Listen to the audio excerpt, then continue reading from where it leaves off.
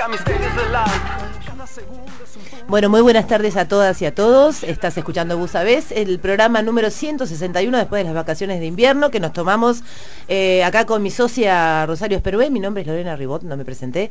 Y estoy acá con Rosario que después de las vacaciones de invierno hemos vuelto. ¿Cómo le va? ¿Cómo le va? Nos tomamos y vacaciones. Igual ahí me contaron en el medio que como pusimos programas grabados, porque con, muchos temas importantes. estuvo bueno. Teníamos que repetir. Me contaron por ahí que estuvo Tito Plaza la semana pasada que quiso al estuvo en el estudio.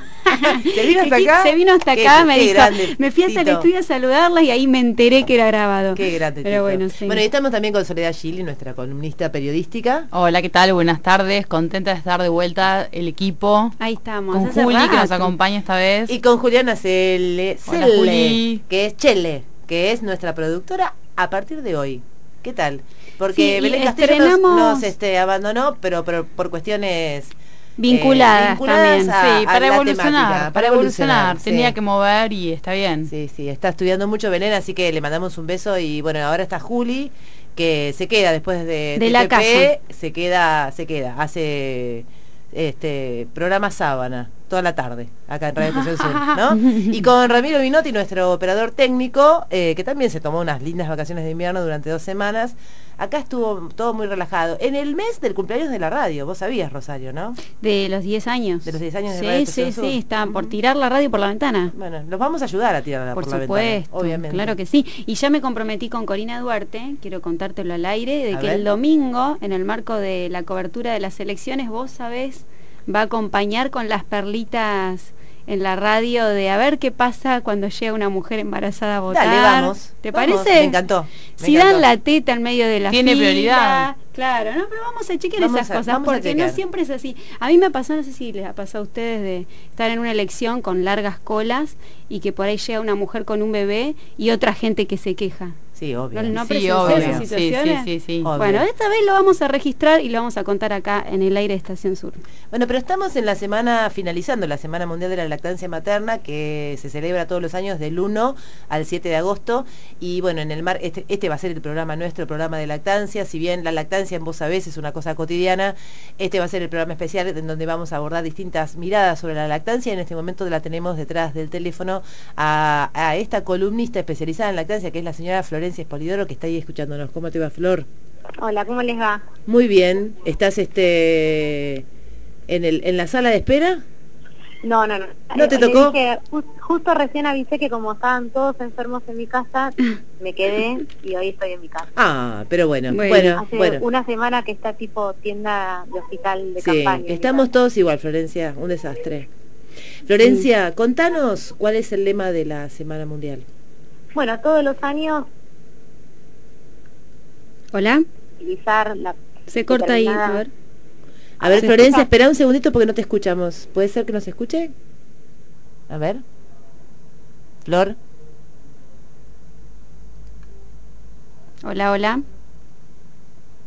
Bueno, me parece que se cortó. Bueno, vamos estábamos a con entonces con Florencia de la Liga de la Leche, eh, porque como estábamos diciendo recién, es la semana eh, mundial de la lactancia, materna. entonces... Eh, que fue instaurada oficialmente por la Organización Mundial de la Salud y por UNICEF desde 1992 que se celebra todos los años, del 1 al 7 de agosto, con distintos lemas, así como es la Semana Mundial del Parto Respetado, se, bueno, son esas fechas que atención a, una, a algo importante como es la lactancia Exacto, y son esas fechas donde uno dice por qué se pone una fecha para algo tan obvio. Bueno, no es tan obvio porque, digamos, eh, acá ahora, ya que la tenemos a Florencia, hola Flor, nos va a contar un poco más, pero digamos, en no todas las regiones está extendida la naturalidad de dar la teta a los bebés, eso se ha reemplazado eh, por mamaderas y por otro tipo de leches y además también hay muchas cuestiones culturales en algunos lugares donde ni siquiera se puede de dar la teta en público, ¿no, Flor? Exacto, como decíamos, eh, es justo decir que las semanas D tienen siempre el objetivo de visibilizar y poner en agenda algunos temas que suelen estar olvidados por ahí en la cotidianidad. Y la, este año el lema de la, de la, la, Semana Mundial de Lactancia tiene que ver con un tema súper vigente y súper atravesado por muchas de todas las mujeres que, que amamantamos, que tiene que ver con amamantar y trabajar, logremos que sea posible, es la traducción que se hizo al español del lema de la Semana Mundial de Lactancia, y bueno, es un tema que que es súper interesante y deja un montón de aristas, me parece, para pensar y para poder armar acciones en relación a eso. Claro, ¿cómo se traduce trabajar y amamantar? ¿Cómo sería? Y trabajar y amamantar eh, tiene tantas opciones posibles como madres y trabajos posibles. Digamos que, que nosotras cuando, cuando hablamos en los grupos con las mamás, siempre tratamos de encontrar la mejor posibilidad para esa mujer. Pero como decimos siempre, por un lado está el trabajo que hacemos con las mamás y por otro lado están las obligaciones que tienen determinadas instituciones para ayudar a sostener, por ejemplo, la lactancia y el trabajo, digamos. Las instituciones que van desde el Estado hasta los mismos empleadores y las empresas, eh, el sistema de salud, lo que, venimos hablando siempre. En estos últimos tiempos, ustedes saben que también han estado presentes en, la lucha de poder aprobar el famoso postnatal de seis meses, que sabemos que sería una muy buena ayuda para las mujeres para poder sostener la lactancia, porque no todos los trabajos permiten eh, o son favorables para que las lactancias puedan continuar, por los horarios, por los jefes, por los compañeros, por los espacios disponibles que hay para poder extraerse. Claro, después está el otro tema de los lactarios, ¿no? Una, una, medida tan simple, pero todavía que se está, digamos, se está extendiendo en algunas oficinas públicas, pero todavía no está extendida y sería un lugar, contarle un poco más, un lugar muy sencillo donde la mujer pudiera estar cómoda para extraerse leche. Por suerte pareciera que se está poniendo, me parece, en agenda la idea de los lactarios, se abrieron en varios ministerios público, salió un lactario Narva. La idea es nada, tiene que haber un sillón, en lo posible una bomba extractora o un kit de sacaleche para poder extraerse. Eh, algunos lugares ponen un dispenser, pero en realidad lo que tiene que haber es un espacio de intimidad, comodidad, higiene para que la mujer pueda extraerse leche, si es posible un espacio donde la pueda guardar hasta que se retire. Porque eh, si no está el baño con, digamos, con todos los que quieren ingresar tocándote la puerta. Sí, es una incomodidad total. Es muy incómodo. No tenés dónde sentarte. En algún punto es una asquerosidad. También. digamos que siempre nosotros decimos, bueno, te prepararías una ensalada en el baño. No. Entonces tampoco es justo prepararle la, comida a tu bebé en el baño. Claro, totalmente. Además que la mujer a veces necesita al menos 15 minutos para poder extraerse una cantidad de leche que, le sirva a su bebé y ese tiempo en un baño donde hay mucha gente que lo quiere utilizar es una incomodidad, no tiene lugar donde apoyar los elementos para extraerse, no es lo ideal. Muchas de nosotras lo hemos hecho porque no, no teníamos otros espacios, pero lo cierto es que lo ideal sería, nada, una sillita, un lugar cómodo, un cartelito que diga ocupado y que la mamá pueda tener el tiempo necesario para extraerse la cantidad de leche. Después hay mil opciones para cómo acondicionar el lactario pero lo importante es pensar en un espacio solo para eso. Exacto. Y que, nadie pueda eh, interrumpir en ese momento. Esas son medidas que nosotras consideramos que ayudan mucho a sostener la lactancia. No solo porque es una medida concreta, sino porque la sensación de volver al trabajo y poder encontrar determinados eh, espacios que te van a facilitar también alivia emocionalmente a la mamá. Florencia, te hago una pregunta. Eh, vos, en, el trabajo de campo que hace la Liga de la Leche, acá en La Plata y bueno, y en todos los lugares de la Argentina donde existen ¿no? los grupos de apoyo de la Liga de la Leche, eh, ¿qué, es lo que vos ves eh, y ven las otras líderes con respecto a lo que ocurre con las mujeres y el trabajo y la lactancia? Es decir, ¿cuál sería la estadística, un número, una tendencia? ¿Las mujeres que trabajan perduran en la lactancia o se les hace difícil todavía? A pesar de todas las cosas que hay ahora de difusión en pos de, seguir, ¿no? Con la lactancia. Sí, no tengo el, dato, el dato firme, pero lo que te puedo decir que lo que recogemos nosotras tiene que ver con que la mujer que logra sostener la lactancia y el trabajo es aquella que busca apoyo. Una mujer sin apoyo le cuesta mucho sostenerlo, ¿sí? Porque suele ser bastante hostil, suele ser eh, bastante difícil esa vuelta, ya digo, desde, desde el mismo, desde, las opciones que te presenta tu situación laboral hasta emocionalmente cómo se encuentra esa mamá para desprenderse de su bebé. Pensemos que lamentablemente hay mujeres que tienen que volver al trabajo los 45 días de un bebé, mm. ¿no? Realmente una, una opción inhumana, ¿no? Ninguna mamá puede separarse y estar productiva en su trabajo con un bebé de 45 días. ningún bebé puede digamos, lo, puede, lo, hacen, pero no es lo ideal, digamos. Hay un costo enorme, me parece, para esa mamá me parece de en esa separación tan temprana. Eh, sabemos que las mamás que buscan apoyo, no solo información, sino apoyo emocional, logran sostenerlo, como muchas de todas nosotras, porque eh, la verdad es que el, 90% de las mujeres que vienen a los grupos trabaja, muy pocas son las mujeres que no trabajan y casi todas logran hacerlo.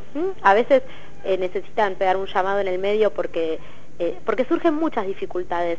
Eh, no es solamente la extracción, hay mujeres que por ahí venían con un ritmo de darle a demanda al bebé en su casa cada hora y media y por ahí al volver al trabajar pueden estar cuatro o cinco horas sin extraerse o sin darle el pecho y eso, eso trae congestión. No, y además hay otra cosa, ¿no? Que em, el, el, bebé, esto vos ayudanos a explicarlo un poco mejor, ¿no? Pero eh, cuando uno empieza a trabajar produce menos leche porque está menos horas con el bebé y entonces una tiene la sensación de que va perdiendo la leche y poco a poco va dejando de dar la teta. Cuando en realidad, eh, mientras más uno, eh, no solamente con el bebé en el pecho, sino con algún extractor manual de leche, uno puede producir puede seguir produciendo leche, digamos. Mientras más se estimula la teta, digamos, más produce, pero hay que tener al principio un poco de paciencia, ¿no? Totalmente. La extracción en, el trabajo es una, una medida ideal para una mujer que vuelve a trabajar, por todo lo que dijimos, porque en primer lugar sigue estimulando la producción.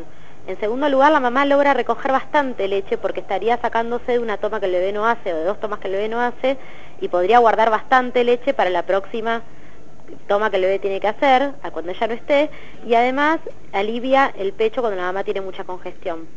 Pero no solo eso, los bebés, cuando las mujeres logran sostener las lactancias, suelen recuperar el tiempo perdido y muchas podrán dar cuenta de esto que cuando volvés a tu casa después de haber estado varias horas, tu bebé por ahí puede estar prendido al pecho durante dos horas seguidas y no soltarte y muchas veces tiene que ver con esta, con esta regulación natural que tenemos las mamás y los bebés que el bebé al prenderse intenta recuperar tiempo perdido de producción o muchas veces los bebés cuando la mamá vuelve al trabajo se empiezan a despertar muchas veces de noche y eso también tiene que ver con la regulación de la producción. Eh, Flor, nos tenemos que ir, pero digamos, ¿por qué vos recomendás entonces em, que se que las madres prioricen la lactancia, la lactancia, perdón, antes que la mamadera y la leche de fórmula? Bueno, habría 1500 opciones. En resumen, resumen, eh, dos o tres cositas. Lo voy a resumir diciendo que es el alimento específico que el bebé necesita para crecer. Es el que está perfectamente diseñado para nuestros bebés. Eh, yo no hablo de beneficios de la lactancia, siempre hablo de riesgos de la leche de fórmula. La, la, leche materna es lo que tiene que comer el bebé, es el alimento que tiene que comer el bebé. Tiene todos los nutrientes, tiene las defensas, se va modificando en función de lo que el bebé necesita. Si tiene diarrea es más líquido, si necesita engordarse hace más grasosa. Es perfecto, es perfectamente diseñado. Por eso creo que bueno, que sería importante que, que todas las mamás puedan por lo menos contar con esta información y decidir después cómo quieren alimentar a sus bebés. Perfecto. Bueno, eh, muchas gracias, Flor. Como siempre, un placer. Bueno, pero una cosa nada más. Mañana grupo en Citibel de 10 a 12. Perfecto. para todas las oyentes de La Plata. Ahí está. Buscan en Facebook Liga de la Leche y entonces ahí se enteran eh, los días y horarios de reunión y las van a ayudar y acompañar para que sigan dando la teta. Bueno, muchas gracias, chicas. Ahora le subimos al muro, Flor, y te mandamos un beso enorme como siempre y dentro de un mes otra vez acá. Dale, gracias. Chau, Dale.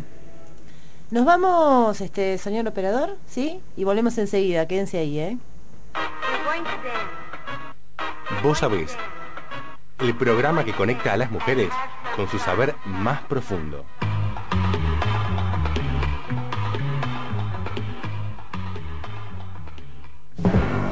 Mirta Legrand. Carajo, mierda. Vos sabés, quinta temporada. Lo que no es puede llegar a ser. Como te ven, te tratan. Si te ven mal, te maltratan. Y si te ven bien, te contratan. Nos vemos el lunes y no me llamen porque no voy a estar. ¿Por qué dice así o no? Vos sabés, quinta temporada. Es que él lo hace después. Ay, sos un tarado.